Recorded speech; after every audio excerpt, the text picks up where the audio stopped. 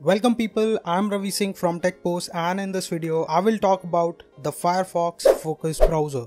The Firefox Focus browser is already available for iOS devices like iPhones but for Android Firefox hasn't released it. But there is source code available on GitHub so if you want you can compile the APK and install on your Android.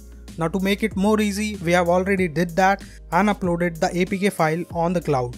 So you can download and install Firefox browser on your Android device directly by downloading that APK file. The link is given in the description. But what's so special about this Firefox Focus browser? Let's find out. But before we start, make sure you subscribe to our channel. This will help us and support us to create more valuable content for you people. So please subscribe and keep watching Tech Post Guides.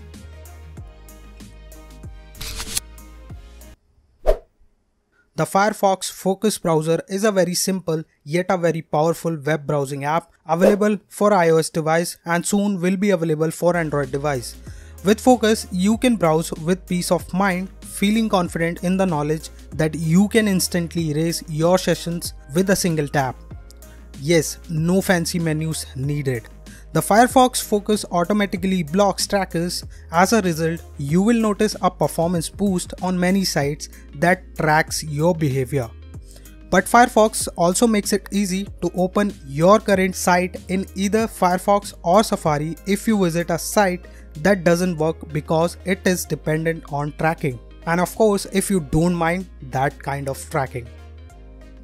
As I said earlier, you can easily erase your history password and cookies with just a single tap so you won't get followed by things like unwanted ads. But the question is why should I trust Focus browser when there are other browsers available for the same? Answer is simple because it is backed by Mozilla, the non-profit that fights for your right on the web. If you know Mozilla, they believe everyone should have control over their lives online and that's what they have been fighting for since 1998.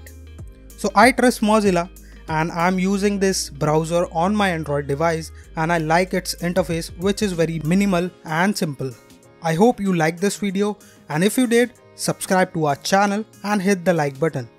If you have any suggestions or feedbacks, please leave in the comments down below. Also don't forget to check out our other videos on Android and iOS. I will be back with a new video soon Thanks for watching guys and have a great day.